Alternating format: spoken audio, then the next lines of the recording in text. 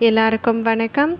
Welcome to ருசியோ ருசி. இன்றைக்கி நம்ம ருசியோ ருசி சேனலில் பார்க்க போகிறது அனைவருக்குமே பயன் தரக்கூடிய ஒரு முக்கியமான பதிவு. ஒரு சில நேரங்களில் நம்ம வீட்டில் ஏதாவது ஒரு சில பொருட்கள் குறைவாக இருக்குது அப்படின்னு சொல்லும் பொழுது நம்ம பயன்படுத்தக்கூடிய வார்த்தை பார்த்தீங்க அப்படின்னா இல்லை அப்படின்னு சொல்லி தான் அந்த பொருளை கேட்டு வாங்குகிறோம் நம்ம நடைமுறையில் இருக்கக்கூடிய வழக்கம் தவறு அப்படின்னு நான் சொல்ல வரல. இருந்தாலும் ஒரு சில பொருட்களை வந்து நம்ம வீட்டில் இல்லை அப்படின்னு சொல்கிறதால கண்டிப்பாக நம்ம வீட்டில் வறுமை ஏற்படுவதற்குண்டான வாய்ப்பு இருக்குது அப்படி அந்த பொருட்கள் தான் என்ன? அந்த பொருட்கள் குறைவாக இருக்குது அப்படின்னு சொல்லும் பொழுது நம்ம வீட்டில் பயன்படுத்த வேண்டிய வார்த்தைகள் தான் என்ன அப்படிங்கிறதுக்கு உண்டான அனைத்து விதமான தகவல்களை பற்றி தான் நம்ம இன்னைக்கு இந்த பதிவின் மூலிமா தெரிஞ்சுக்க போகிறோம் வீடியோவை எங்கேயுமே ஸ்கிப் பண்ணாமல் பாருங்கள் அப்போ தான் எந்த ஒரு சின்ன தகவலையுமே நீங்கள் மிஸ் பண்ணாமல் தெரிஞ்சுக்க முடியும். இப்போ நம்ம ஸ்டார்ட் பண்ணிடலாம். பொதுவாக நம்ம பயன்படுத்தக்கூடிய வார்த்தை ஒவ்வொன்றிலையுமே இருக்கக்கூடிய அதிர்வளைவானது நமக்கு நல்லவைகளையும் இருக்கும் அதே சமயத்தில் கெட்டவைகளையும் இருக்கும் நம்ம பயன்படுத்தக்கூடிய வார்த்தைகள் நம்மளுடைய சிந்தனை நேர்மறையாக இருந்து நமக்கு நேர்மறை ஆற்றல் பெருகணும் அப்படிங்கிறதுக்காக தேடி தேடி பயன்படுத்துகிறோம் அப்படின்னு சொன்னால் அதனால் ஏற்படக்கூடிய முன்னேற்றம் அப்படிங்கிறது நமக்கு அசுர வளர்ச்சியாக இருக்கும்.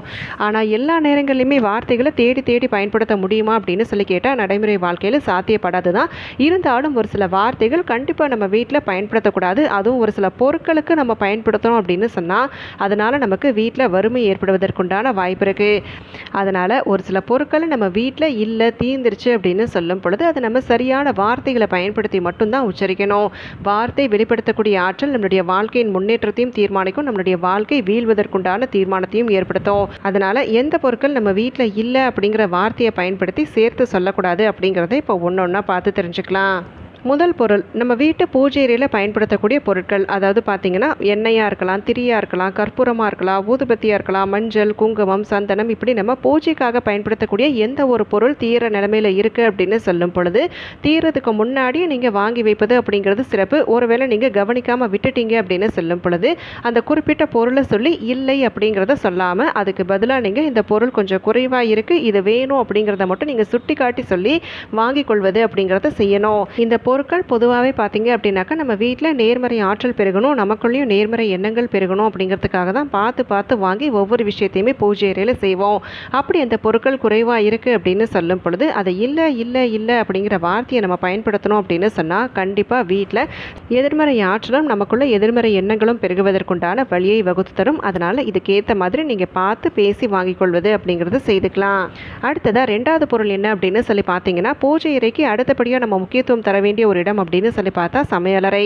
சமையலறையில் இடம்பெறக்கூடிய மங்கள பொருட்கள் பார்த்தீங்க அப்படின்னு சொன்னால் அந்த மங்கள பொருட்கள் நிறைவாக இருக்கக்கூடிய காரணத்தாலேயே மகாலட்சுமி தாயார் நிரந்தர வாசம் செய்வத ஒரு ஐதீகம் இருக்குது அப்படி அந்த பொருட்கள் ஒருவேளை குறைவாக இருக்குது அப்படின்னு சொல்லும் பொழுது குறைவாக இருக்குது அப்படிங்கிறத சொல்லி நீங்கள் வாங்கிக்கலாம். இல்லை வெளியிடங்களுக்கு போகும் பொழுது நீங்கள் சீட்டு மாதிரி கூட எழுதி வச்சு வாங்கிட்டு வந்துடலாம். ஆனால் மொத்தத்தில் இந்த பொருட்கள் குறைவாகுது அப்படின்னு சொல்லும் பொழுது அந்த பொருளை நம்ம சுட்டி காட்டி இல்லை அப்படிங்கிற வார்த்தையை பயன்படுத்துவது அப்படிங்கிறத தவிர்த்துக்கணும். இல்லை அப்படின்னு சொல்லும் பொழுது அந்த வார்த்தை வெளிப்படுத்தக்கூடிய ஆற்றல் பார்த்தீங்க அப்படின்னு சொன்னால் நம்ம வீட்டில் மகாலட்சுமி தாயார் தங்குவதற்குண்டான வாய்ப்பை ஏற்படுத்தி தருவதில்லை அப்படின்னு சொல்லி நம்பப்படுது.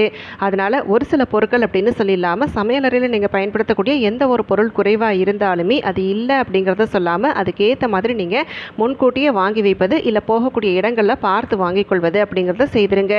அடுத்ததாக மூன்றாவது பொருள். இப்போ வீட்டில் ஒரு சில நேரங்களில் கணவனோ இல்லை மனைவியோ யாராவது அவசரமாக புறப்பட்டு போகிறாங்க கொஞ்சம் சேஞ்ச் இருந்தால் கொடுங்க. சில்லறை நாணயம் இருந்தால் கொடுங்க அப்படின்னு சொல்லி யாராவது ஒருத்தர் கேட்போம் இல்லைங்களா? அப்படி கேட்கும் பொழுது அந்த சில்லறை நாணயங்களை வந்து நம்ம இல்லை அப்படின்னு சொல்லக்கூடாது. சேஞ்ச் யாராவது கேட்குறாங்க. நம்ம வீட்டை தவிர்த்து வெளியிடங்கள் அப்படின்னு நான் சொல்ல வரல. நம்ம வீட்டுக்குள்ளே இருந்தபடி யாராவது இப்போ வெளியிடங்களுக்கு புறப்பட்டு போகும் பொழுது சில்லறை கேட்குறாங்க அப்படின்னு சொல்லும் பொழுது ஒன்று நீங்கள் பார்க்குறேன் அப்படின்னு சொல்லி கொஞ்சம் தேடி பாருங்கள் ஒருவேளை இல்லை அப்படின்னு சொல்லும் பொழுது இருக்கிற சில்லறை எடுத்துக்கூட இவ்வளோ தான் இருக்குது அப்படிங்கிறத மட்டும் சொல்லிடுங்க. ஆனால் எக்காரணம் கொண்டும் நாணயங்களோ இல்லை சில்லறையோ இல்லை அப்படிங்கிறத மட்டும் சொல்ல வேண்டாம். இதை கேட்கும் பொழுது நம்ம வீட்டுக்குள்ளே இருக்கக்கூடியவங்களுக்கு மட்டும்தான் சொல்லணுமா? இல்லை வெளியிடங்களில் சொல்லணுமா அப்படின்னு கேட்டால் வெளியிடங்களில் உங்கள்கிட்ட இருக்குது அப்படின்னு சொன்னால் இருக்குன்னு சொல்லி நீங்கள் மாற்றிக்கோங்க இல்லைனாக்கா நீங்கள் இல்லைன்னே சொல்லிடுங்க. அதனால் தவறு கிடையாது. ஆனால் வீட்டுக்குள்ளே இந்த குறிப்பிட்ட வார்த்தையினுடைய அதிர்வலையை ஏற்படுத்த வேண்டாம் அப்படிங்கிறத தான் இங்கே சுட்டி காட்டுறேன் அடுத்ததாக நான்காவது பொருள்.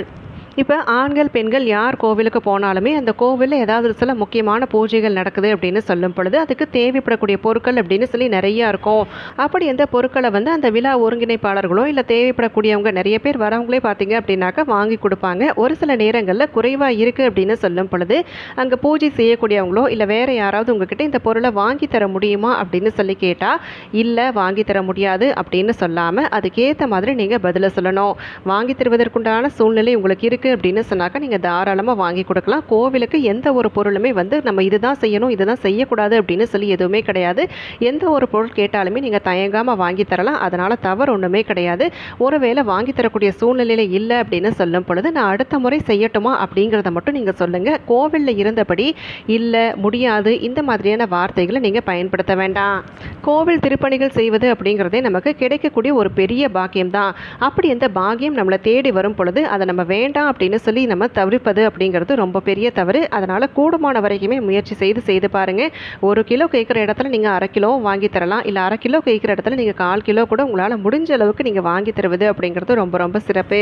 அடுத்ததாக ஐந்தாவதும் பார்த்தீங்க அப்படின்னாக்கா கோவிலில் நிறைய நேரங்களில் பார்த்தீங்கன்னா கன்னி பெண்களுக்கு திருமணம் ஆகணும் அப்படிங்கிறதுக்காக அவங்களுடைய தாயோ இல்லை உடன் பிறந்தவங்களோ பார்த்தீங்கன்னா உண்டியலில் காணிக்கை வேணும் அப்படின்னு சொல்லி கேட்பாங்க. கோவிலில் இருந்தபடி கேட்குறாங்க அப்படின்னு சொன்னாக்க நிறைய நேரங்களில் நமக்கே ஒரு ஐயம் வரும். இது உண்மைதானா இல்லை பொய் தானா அப்படிங்கிற ஐயம் வரும். எப்படி இருந்தாலுமே கோவிலில் இருந்தபடி பொய் சொல்லி வாங்குறாங்க அப்படின்னு சொன்னாக்கா அதனால் வரக்கூடிய பாவங்கள் அவங்கள தான் சேரும். அதே சமயத்தில் நம்ம தரக்கூடிய தொகை பார்த்தீங்க அப்படின்னு சொன்னாக்கா நம்மளுடைய வரவுக்கு மீறி நம்ம தரப்போகிறது கிடையாது. அதனால் நமக்கு நஷ்டமும் ஒன்றும் பெருசாக ஆக போகிறதில்ல அதனால் நீங்கள் செய்யக்கூடிய தான தர்மங்கள் இப்போ யாராவது கேட்டு வராங்க அப்படின்னு சொன்னாக்கா குறைந்த அளவு தொகையாவது நீங்கள் கொடுப்பது அப்படிங்கிறத செய்யணும். இல்லை முடியாது. இந்த மாதிரியான வார்த்தைகள் கண்டிப்பாக கோவிலிருந்து நம்ம சொல்வது அப்படிங்கிறது ரொம்ப பெரிய தவறு. அதனால் இதுக்கு ஏற்ற மாதிரி நீங்கள் பார்த்து செயல்பட்டுக்கோங்க. அடுத்தது ஐந்தாவது பொருள். நம்ம வீட்டில் படிக்கின்ற வயதில் குழந்தைகள் இருப்பாங்க. சின்ன பிள்ளைங்களா இருக்கிறாங்க அப்படின்னு சொன்னாக்க நீங்கள் ஸ்கூலுக்கு போகும் பொழுது கொடுத்து அனுப்பக்கூடிய பென்சிலோ ரப்பரோ இல்லை வேறு ஏதாவது ஷார்ப்னர் இந்த மாதிரி பொருட்களை வந்து தொலைப்பதற்குண்டான வாய்ப்பு இருக்குது அதனால் வீட்டுக்கு வரும் பொழுது கண்டிப்பாக சொல்லுவாங்க இதை நான் தொலைச்சிட்டேன் இல்லை காணாமல் போயிடுச்சு ஏதாவது ஒன்று சொல்லுவாங்க இல்லைங்களா? அப்படி எந்த பொருள் வேணும் அப்படின்னு சொல்லி குழந்தைகள் கேட்கும் பொழுது அதாவது எழுத்து சம்பந்தப்பட்ட பொருட்கள் வேணும் அப்படின்னு சொல்லி குழந்தைகள் கேட்கும் பொழுது நீங்கள் முன்கூட்டியே ஒரு ரெண்டு மூணு கூட வாங்கி வச்சுட்டு அதை எடுத்து தருவது இல்லை தொலை தொலைப்பதற்குண்டான காரணம் என்ன அப்படிங்கிறத தெரிஞ்சுக்கிட்டு இனி தொலைக்கக்கூடாது அப்படிங்கிறதுக்குண்டான அறிவுரையை சொல்லி நீங்கள் தருவது அப்படிங்கிறத செய்யணும். இல்லை தரமாட்டேன் முடியாது. இந்த மாதிரியான வார்த்தைகளை வந்து நம்ம குழந்தைகள் கிட்ட பயன்படுத்தக்கூடாது. இளம் பருவத்தில் நீங்கள் செய்யக்கூடிய இந்த சின்ன விஷயம் பார்த்தீங்கன்னா அதனுடைய முக்கியத்துவத்தை சொல்லி நீங்கள் அந்த பொருளை தரீங்க அப்படின்னாக்கா அதற்குண்டான முக்கியத்துவமும் உங்களுக்கு புரியும். அதே சமயத்தில் இந்த மாதிரியான எழுத்து பொருட்கள் அப்படின்னு சொல்லி பார்த்தா அது குரு பகவானுடைய ஆதிக்கம் கொண்டிருக்கக்கூடிய பொருட்கள். குரு பகவானுடைய ஆதிக்கம் கொண்டிருக்கக்கூடிய காரணத்தாலேயே அந்த பொருட்கள் நம்ம வீட்டில் நிறைவாக இருக்குது அப்படின்னு சொன்னால் மட்டும்தான் கண்டிப்பாக குழந்தைகள் கல்வி செல்வத்தில் சிறந்து விளங்குவதற்குண்டான வாய்ப்பு ஏற்படும். அதனால் வாங்கும் பொழுதே கூட ரெண்டு மூணு சேர்த்து வாங்கிடுங்க. அவங்கள்ட்ட சொல்ல வேணாம். ஒரு இடத்துல வச்சிருங்க. தொலைப்பதற்குண்டான சூழ்நிலை ஏற்பட்டுச்சு அப்படின்னு சொன்னால் மட்டும் முக்கியத்துவத்தை சொல்லி எடுத்து கொடுங்க. அடுத்தது ஆறாவது பொருள். அனைத்து தெய்வங்களும் தேவர்களும் குடிகொண்டிருக்கக்கூடிய பசுமாட்டிடமிருந்து கிடைக்கக்கூடிய பால் நம்ம வீடுகளில் எப்பயுமே இருக்கணும். இரவு தூங்க செல்லும் பொழுது நம்ம சுத்தமாக தீத்துட்டு தூங்குவது அப்படிங்கிறத செய்யக்கூடாது. கொஞ்சம் பாலையாவது நம்ம எடுத்து ஃப்ரிட்ஜில் வச்சுக்கலாம். அதனால் தவறு ஒன்றுமே கிடையாது. ஆனால் பால் எப்பயுமே நம்ம வீட்டில் நிறைவாக இருக்கணும். பால் இல்லை அப்படிங்கிற பேச்சுக்கு இடம் இருக்கக்கூடாது. காலை நேரத்தில் நம்ம புதுசாக பசும்பால் வாங்கி நம்ம காய்ச்சி வழிபாடுகளுக்கு செய்வது இல்லை வேறு ஏதாவது பரிகாரங்கள் செய்வது அப்படிங்கிறது செய்துக்கலாம். ஆனால் எப்பயுமே நம்ம வீட்டில் பால் கண்டிப்பாக இருக்கணும். அடுத்ததாக ஏழாவது பொருள் பார்த்திங்கன்னா ஒரு பூஜை அப்படின்னு சொல்லி எடுத்துக்கிட்டால் அதில் இடம்பெறக்கூடிய முக்கியமான பொருட்களில் ஒன்று தான் பூக்கள்.